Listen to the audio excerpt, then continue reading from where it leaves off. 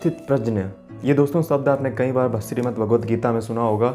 और किस प्रकार से श्रीमद भगवद गीता का ये श्लोक सार्थक होता है सिग्निफिकेंस होता है हमारे सिविल सर्विसेज़ की वैल्यूज़ में, आपको ज़रूर पता होना चाहिए। और आप कहोगे, सर, मैं तो सिविल सर्विस की तैयारी करता नहीं हूँ। तब भी आपको जानना चाहिए, क्योंकि ये वैल्यूज़ ही हैं।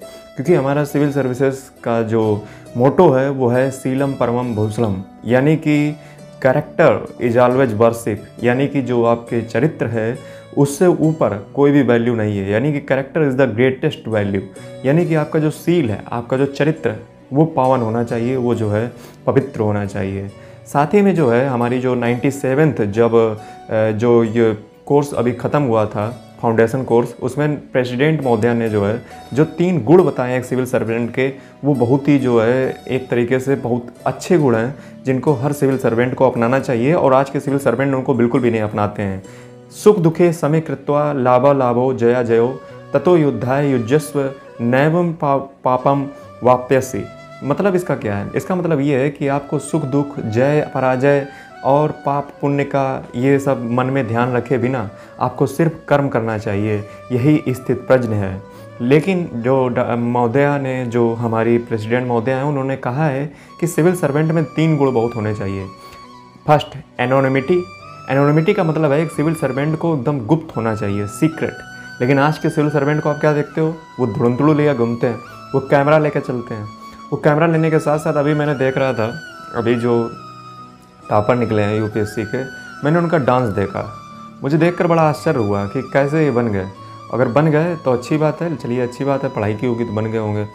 लेकिन मुझे बहुत दुख हुआ कि कैसे कोई व्यक्ति जो है इस प्रकार की हरकत कर सकता है। मतलब आप फ़र्स्ट टॉपर आए हैं, अच्छी बात है। आप तो जो है यूपीएससी का मतलब है सीरियसनेस यानी कि आप जो है एक सीरियस के उसमें रहिए क्योंकि यूपीएससी का मतलब है, आप खुश रह ही नहीं सकते। आपके मन पे हमेशा एक गंभीर आपके मन पे विचार होने चाहिए, गंभीर आपका चेहरा दिखना चाहिए।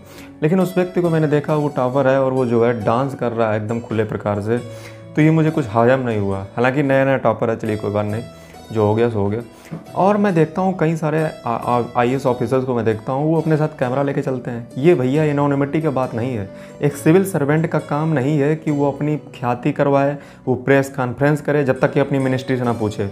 वो उसका कॉन्फ्रेंस नहीं कर सकता है। उसको किसी भी प्रकार का क्रेडिट लेने की आवश्यकता नहीं है। ना वो क्रेडिट ले सकता है, ना क्रेडिट दे सकता है। सॉरी मतलब इसका ये है कि आप कोई भी काम करें, आपको गुप्त रूप से करना पड़ेगा। यही तो स्थित प्रश्न है कि आप कर्म कर दें, आपको उससे क्या फल मिलेगा? इसमें आपकी कोई भी आसक्ति नहीं है। यानी कि सिविल सर्वेंट का काम है कि वो कर्म करे। सिर्फ़ कम करना है उसको। उसको कितना पुरस्कार मिलेगा, जनता नहीं देगी, ये देगी, क्योंकि वो मिनिस्टर के लिए काम करता है भाई। आप तो परमानेंट एग्जीक्यूटिव हो। आपका काम पुरस्कार प्राप्त करना नहीं है जनता से।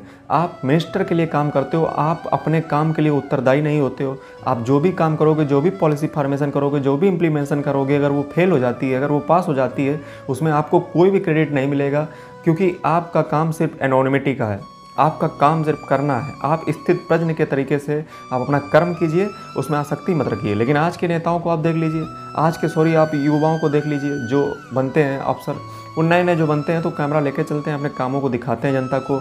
ये सब एक सिविल सर्वेंट के वैल्यू नहीं है। उनको शायद इनकी पता नहीं होगी, पता भी होगी तो वो भूल जाते हैं। उनको याद दिलाना पड़ेगा। दूसरा चीज़ सबसे बड़ी गंभीर चीज़ है, वो है एबिलिटी जैसे सिविल सर्वेंट के अंदर एबिलिटी होनी चाहिए। हालाँकि वो परीक्षा पास करके आते हैं तो उनके अंदर एबिलिटी तो होती है, योग्यता तो होती है। लेकिन क्या होता है कि जैसे ही वो परीक्षा को पास करते हैं तो वो पढ़ना बंद कर देते हैं।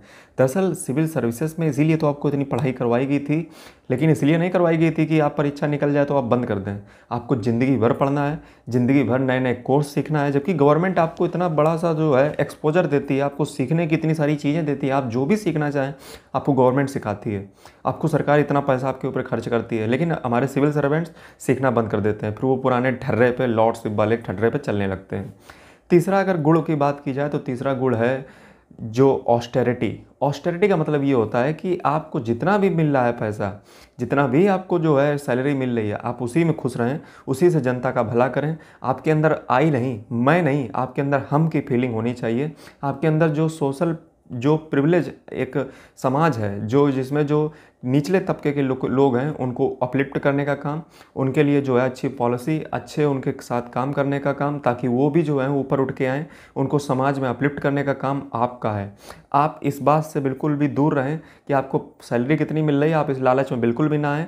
जो मिल रहा है वो ठीक है, क्योंकि आपको पहले पता था कितनी सैलरी मिलेगी। अगर आप लालच में आते हो तो फिर ये सिविल सर्वेंट का वैल्यू नहीं है। सिविल सर्वेंट का वैल्यू है कि उसके अंदर ऑस्टेरिटी होनी चाहिए।